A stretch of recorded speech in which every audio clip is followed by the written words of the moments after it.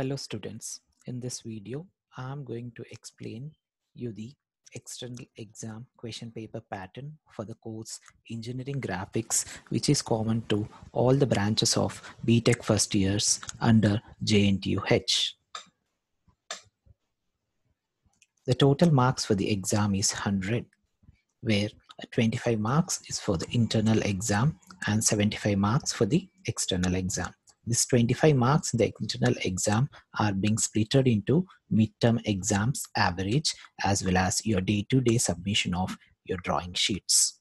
And external exam, the questions will be asked from five units where you need to attend five questions. Let's look into unit-wise details of the topics which will be asked in the JNTUH question paper. The first unit consists of three categories. One is conic section, the second is cycloidal curves, and the third is scales.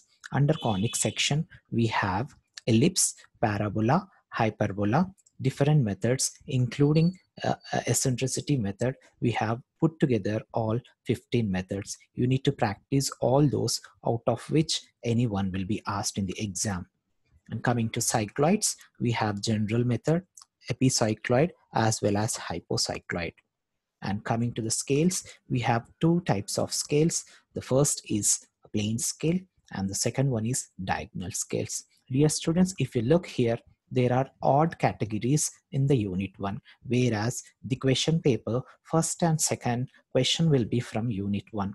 That is either conic section, 1A or 1B will be cycloids or one 2a will be cycloids and 2b may be scales. That means they be asking all categories of these three in the question paper. So you be perfect with all these or at least with minimum of two categories.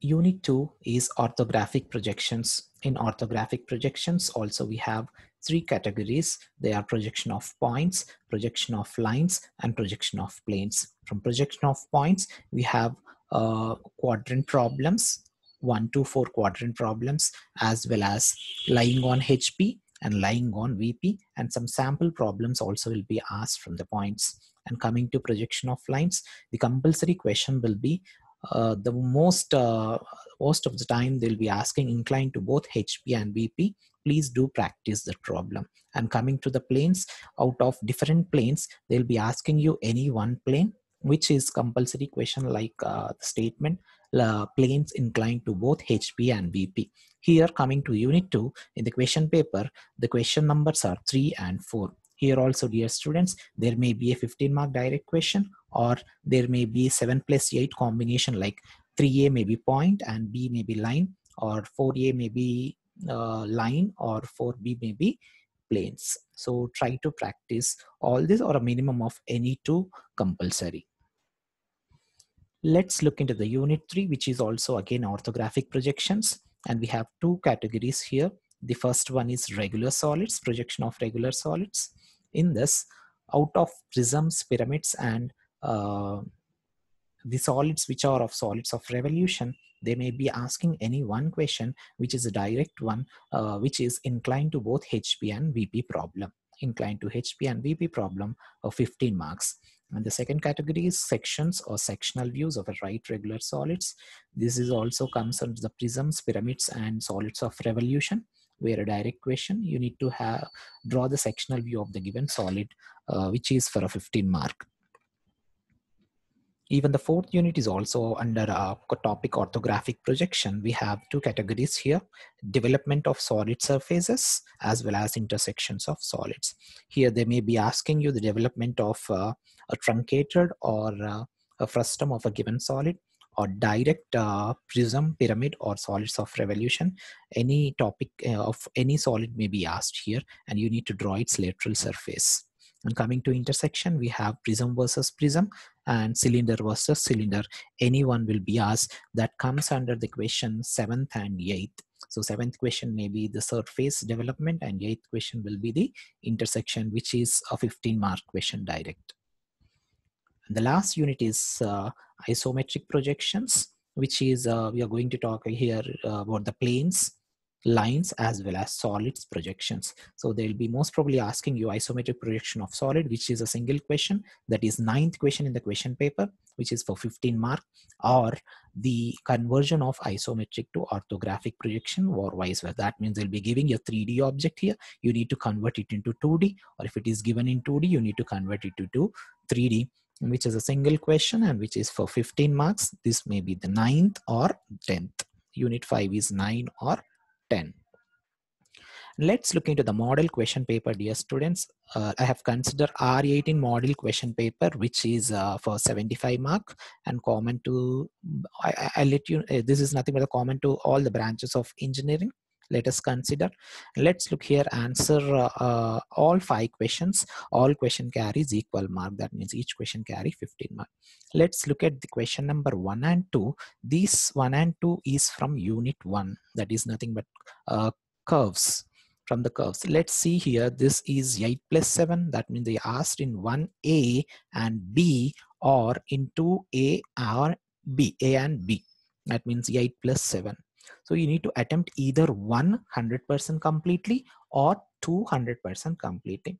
A few students raise question like I have attempted 1A and have attempted 2B. They consider only either 1A or 1B dear students. Please try to understand here the OR option is used here.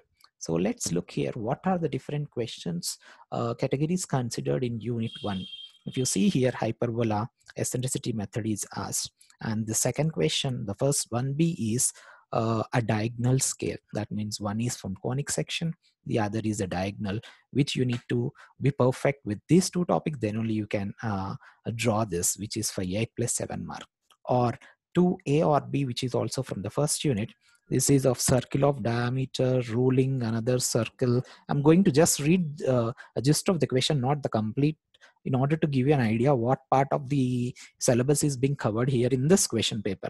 So here it is rolling circle uh, on another circle. This is nothing but epicycloid. The epicycloid is given here and the B is diagonal scale, dear student. If you see here, they have covered all the topics in the of the unit one in one as well as two.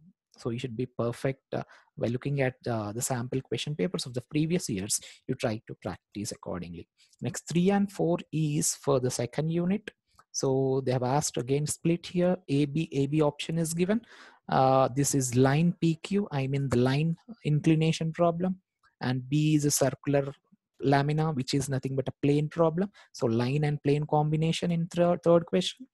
And the fourth one is also again a line, straight line uh, and a rectangular plate and a rectangle. So the line inclination as well as rectangular plate inclination problem is asked here.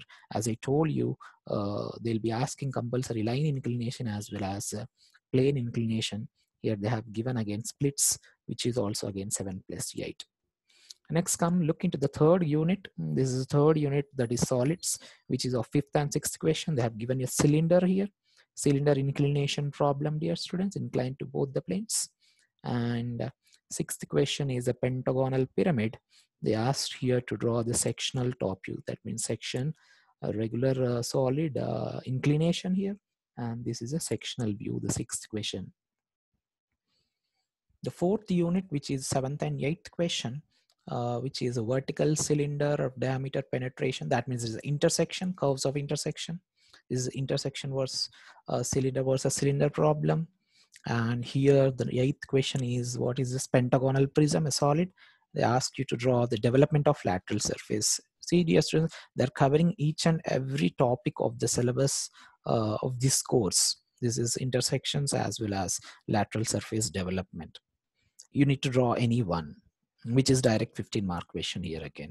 And coming to the fifth unit, which is of isometric problem, here they have asked you to draw the isometric projection of the frustum of cone. For a cone problem, they have asked isometric projection or uh, 3D diagram in isometric view is given, you need to convert it into 2D.